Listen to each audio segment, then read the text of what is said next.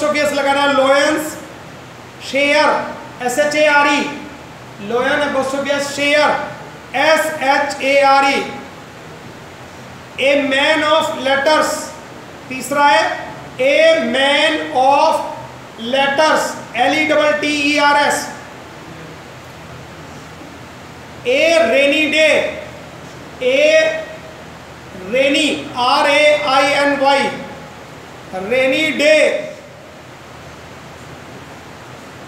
a red day a red R E D red letter L E double T R day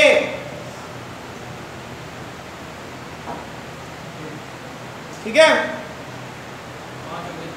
A rolling stone a rolling R O double L I N G rolling stone S T O N E ये desolate वाले भी पौधे sir. Controlling भी पौधे यहाँ ये explain करना fine fight भी a shady deal a shady S H A D Y shady deal D E L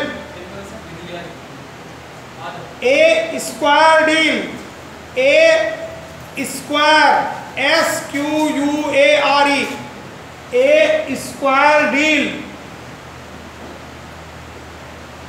a turncoat a turn T R N turncoat her idiom के बाद दो दो तीन तीन लाइन छोड़ देना। इसका मीनिंग बताएँगे तो लिखना है ना उसका। A turncoat C O A T coat और लास्ट है टी यू आर एन सही है। टर्न टी यू टी मिटो दो sir मिटो turn T U R N next लिखो last above board A B O V E above board B O A R D board देखो, आज आपको एक नई टेक्निक भी सिखाएँगे हम, और पहले आपको ये याद करना सिखा रहे हैं, हम ईडियम्स को कैसे याद करेंगे? ईडियम कैसे याद हो सकते हैं? साथ की साथ। ठीक है? और अपना नाम, जो नए बच्चे आए हैं, वो अपना नाम लेके जाना मेरे से आज। दो लोग नए आए हैं। आपको एक नया नाम दिया जाएगा, वो नाम ले लेना हमारे से। फिर याद होना चाहिए, जैसे हम क्या बोलते हैं, मैं आपको बता देता हूँ। जैसे हमने बोला, मौलिक कर्तव्य कुणाल? ओके। जैसे हमने बोला, मौलिक अधिकारों के परिवर्तन करने के लिए उपचार। ओके। हमने बोला ग्राम पंचायतों का गठन। ओके। हमने बोला नागरिकों के लिए समान नागरिक संहिता।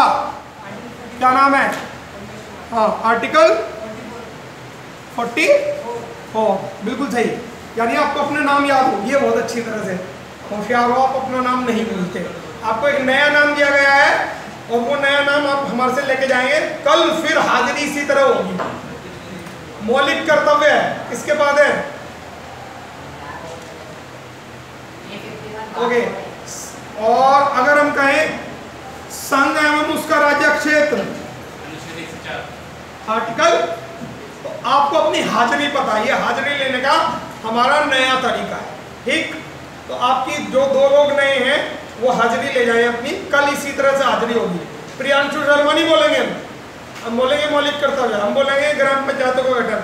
हम बोलेंगे चौदह वर्ष से नीचे के बालकों को कारखाने में नियोजन पर प्रतिबंध। इस पे बस, ऐसे आंसर बोलना है।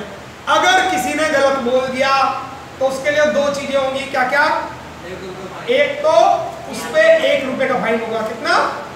मात्र एक रुपया जेब में डाल के लाना है, अगर भूल गए नाम बोलो जी, एक रुपया। कॉलेज को डोनेशन देनी है एक रुपए की। ठीक? और अगर वो भूल गया, एक रुपए की तो डोनेशन देगा। उसके सिर पे महामूर्ख का ताज रखेंगे, उसे यहाँ बुलाएँगे। कहेंगे, देखो, ये महामूर्ख है, ये अपना नाम भूल गया। तो अब भूलना है, महामूर्ख का दर्जा लेना है तो वेलकम कल को भूल जाना। अदरवाइज़ ये अपना नाम, दूसरे का नहीं, पड़ोसी का नहीं। नाम याद रखने जाओ पड़ोसी का भी रख लो। हमें कोई आपत्ति नहीं, सारे रख लो।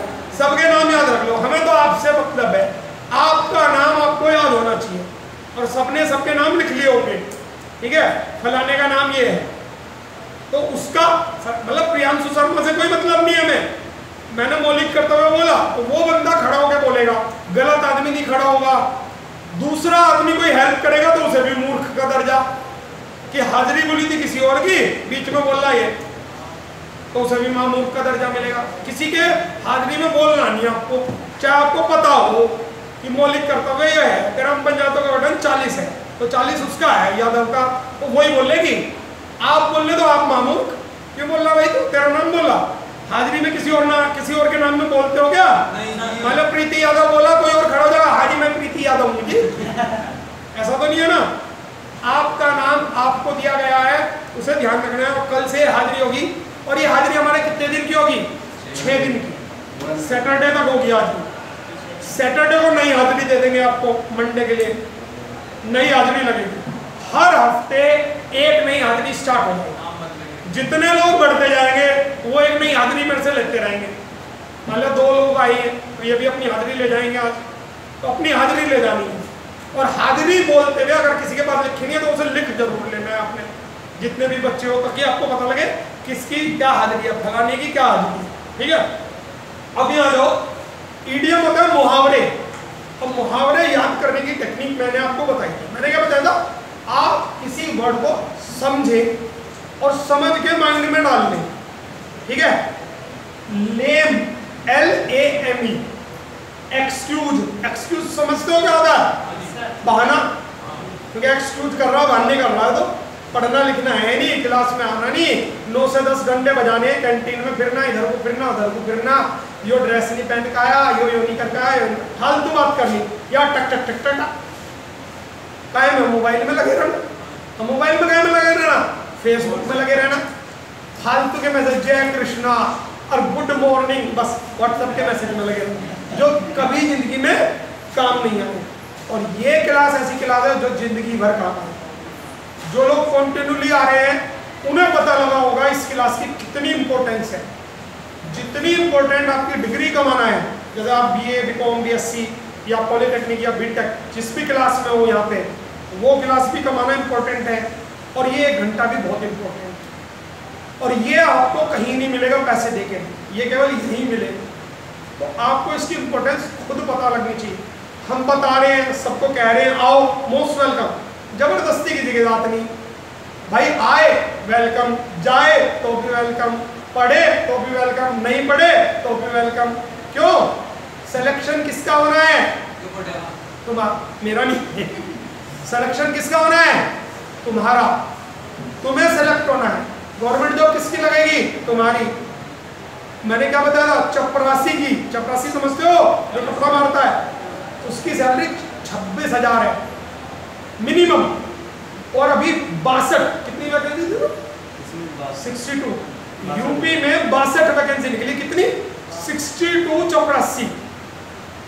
और उसकी जो अप्लाई किया बच्चों ने क्या तिरानवे हज़ार कर चुके तिरानवे हज़ार उस बासठ चपरासी बनने के लिए अप्लाई कर चुके अगली खबर सुनना। इसमें से साढ़े तीन हज़ार बच्चे पीएचडी होल्डर है मेरे जैसे। लाइन में खड़े पीएचडी की डिग्री लेके कि चपरासी बनवा लो। क्यों? पीएचडी वाले को प्राइवेट में भी छब्बीस हज़ार नहीं मिल रहे चपरासी को पीएचडी मारेगा। मार भाई, पानी पिला। इतनी बुरी हालत है एजुकेशन की। ज़रूरी नहीं अब चपरासी बनो से बुरा मत मानना। बुरी जॉब नहीं है मुझे। मुँह ढक के आओ मुँह ढक के जाओ, कोई बात नहीं। है ना? कपड़े वहाँ जाके पुराने पहन लो, आ जाओ, मैं छब्बीस हज़ार मिल रहे किसी ने पूछा मुझे क्या भाई, मैं विधानसभा में अफसर हूँ। कौन देगा था? थोड़ा सा काला मिट्टी पिट्टी लगा लो, चपरासी होंगी मैं। वहाँ जाके चेहरा बदल कोई दिक्कत चपरा मतलब अदरवाइज़ मतलब चपरासी नहीं बनना हमें। लेकिन अगर मिल रहा हो तो छोड़ना भी आपके लिए बहुत सारी जॉब आई एस है पीसीएस है एनडीए उतनी मेहनत भी तो करोगे ना फिर?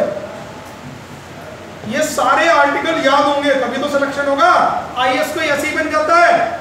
सीडीएस में ऐसे ही चले जाते नहीं, ये आपका एक्स्ट्रा वर्क है। एक्स्ट्रा मेहनत आप यहाँ पे कर रहे हो। एक घंटा बहुत क्रूशियल है। क्योंकि आप नौ से दस पढ़ते हो। नौ से दस पढ़ने के लिए क्या करना पड़ रहा है आपको? आठ बजे चलना पड़ रहा। कॉलेज दस बजे है। और आठ बजे अगर घर से चल रहे हो तो सात बजे उठ भी रहे होंगे। नाश्ता भी खा रहे होंगे। कुछ का तो नाश्ता रह जाता होगा। नाश्ता रह गया भाई मेरा तो ऐसा भी होता होगा तो आपको मैनेज करना आएगा यहीं से आपकी एक लाइफ साइकिल शुरू हो जाएगी कि हम उस कंस्टेंट में कैसे जिए कैसे हम सफल बने, कि टाइम कम है नौ बज गए एक प्रेशर आपके ऊपर हो कि हाँ ठीक है। एक दिन तो ऐसा भी हुआ था सर और मैं आए थे, एक भी बंदा नहीं था। सर कहने लगे, कोई नहीं है। मैंने कहा, कोई बात नहीं सर आप मुझे पढ़ाओ, मैं आपको पढ़ाता हूँ। हमने पढ़ाई शुरू की, फिर ये पहला बंदा आया। ये बैठ गया, पढ़ना शुरू किया, फिर दूसरा आया, तीसरा आ गए सात आठ। लेकिन हम छोड़ते नहीं। हम कोशिश करते हैं, हम पढ़ाएँगे। कोई भी टॉपिक है, आपका लॉस है। आप नहीं आओगे, हम तो टॉपिक पढ़ा देंगे। लॉस किसका होगा आपका वो टॉपिक निकल गया। क्योंकि यहाँ पे किसी भी टॉपिक को रिपीट करना मुश्किल है। हम रिपीट नहीं कर पाएँगे। क्योंकि इतना लेंथी कोर्स है एक एक चैप्टर जैसे रीजनिंग का भी एक ही चैप्टर हुआ है।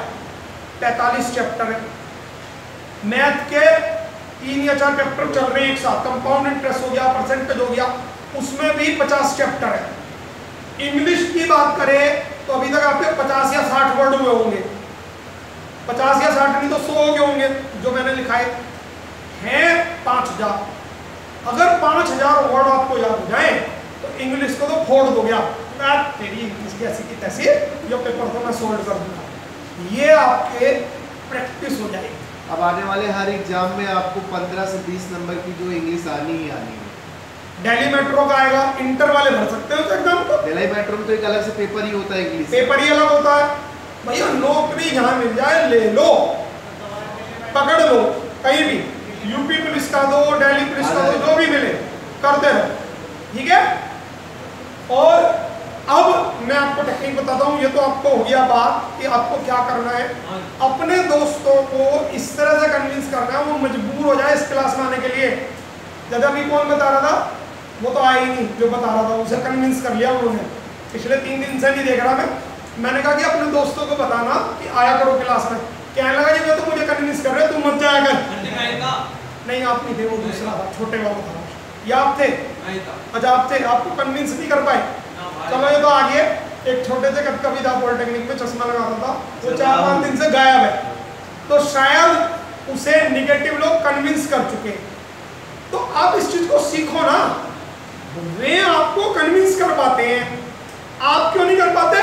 चल वे तो कहते ना जा बे। आप क्या चल। एक ना जा और एक चल। किस और आपको जाना है आपको देखना है। आपकी इतनी स्ट्रॉन्ग पावर हो, आप ये कह सके, भाई, मैंने सीख लिया। तो कुछ नहीं है। तेरे बस की कुछ नहीं। बता ले एक्सक्यूज का क्या मतलब? ऐसा कर देगा बता देगा नहीं। पता ही नहीं होगा नगया अभी बहुत टाइम है कर लूँगा कर लियो।